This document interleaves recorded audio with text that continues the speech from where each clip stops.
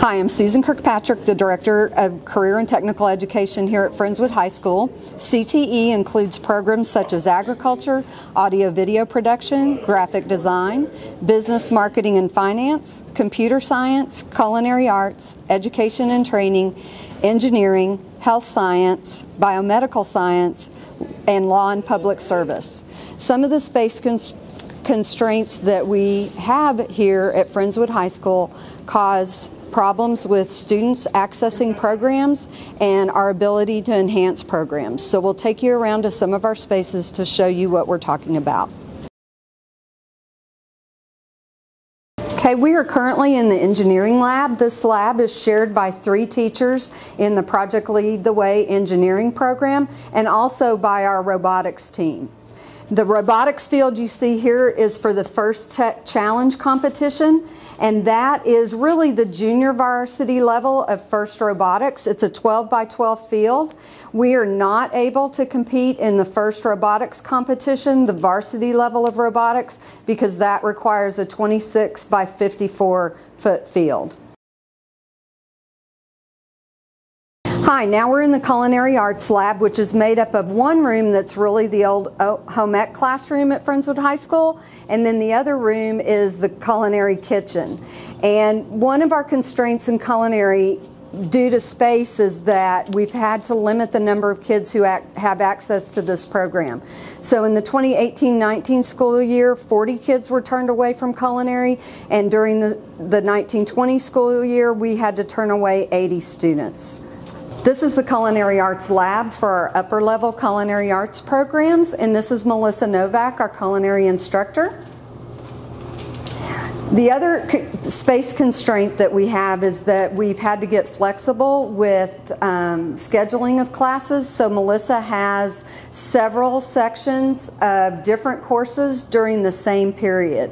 So, our Culinary Arts 1 students function in this lab at the same time our practicum in culinary arts one students do. So we have about 30 students trying to cook at the same time in this lab. We're now in the computer science lab, and one of the constraints we have in many of our programs is that class size and student access to programs is limited by the number of computers that can fit in a classroom. Um, this is also um, a lab space that doesn't allow for collaboration and it also doesn't allow for a lot of work in cybersecurity. We really need to enhance this program by adding a cybersecurity lab. This is our health science simulated hospital room, and this program has grown tremendously over the last few years. We currently have three hospital beds with patients in this room, so it's very crowded when you add 15 students working to take care of these patients and learn the skills necessary. This is Carla Burris, our health science teacher.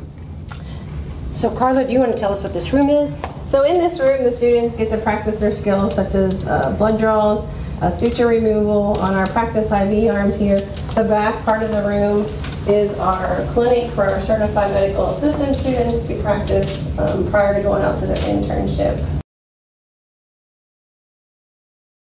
Okay, we're now in one of our ag science classrooms, and this classroom is used both for floral design and small animal management, as well as principles of agriculture and equine science. So we have our small animals here in the classroom and the floral design lab next door. So this floral design lab um, is used by two teachers. 160 students work in here each day, as well as 15 advanced floral students. And we have a small cooler for them to keep their arrangements in. But one of the biggest issues in this classroom, as well as many other CTE programs, is that every period students have to break down their projects put them away and get them out again the next class period. Our lab space would it would be great to have lab space where projects could stay out and students could just come in each day and get started without having to set up and tear down. Because of space constraints in ag science, we're also not able to enhance this program.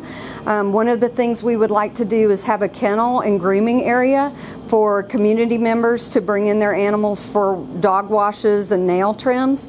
And then the other enhancement would be to add a program where we would be able to socialize and train service dogs. Okay, we're in the audio video production classroom with the instructor Al Tag, who will take you on a tour. All right, so this is uh, one of our classrooms for the AV program. It is a computer lab. Um, electricians have told me that they're nervous when they walk into this room because of the number of machines we have plugged in at once. We do fit uh, 20 to 21 students in the room at a time, which is a very uh, claustrophobic environment. Um, it's also limited because of the amount of space we have, how many students we can accept into the classroom, uh, because we just don't have room for uh, enough computers. This is also where we do our screenings for film appreciation and our MCS show. We project on a on a wall Okay, so this is the control room for our MCS broadcast. Uh, we usually have five or so students in here uh, working on headsets with students in the uh, in the studio. Um, the classroom is next door. We have a, a series of windows that uh, I can peek through, but um, to get files from one room into this room and notifying the next room, it's a bit of a, they get their steps in going back and forth between the different rooms. This is the MCS studio. From what I understand, it is a converted library book closet, uh, but we do use this to store our equipment. Uh, what you're looking at is maybe about uh, five or six thousand dollars worth of cameras and cases and microphones that are stored in cabinets. There's not really room for us to to put it anywhere else. Um, this is the room that they perform the show every day. Uh, we have to move these cameras out of the way to use this space for anything else. Uh, we also have a limited space for our tripods and light stands to be stored.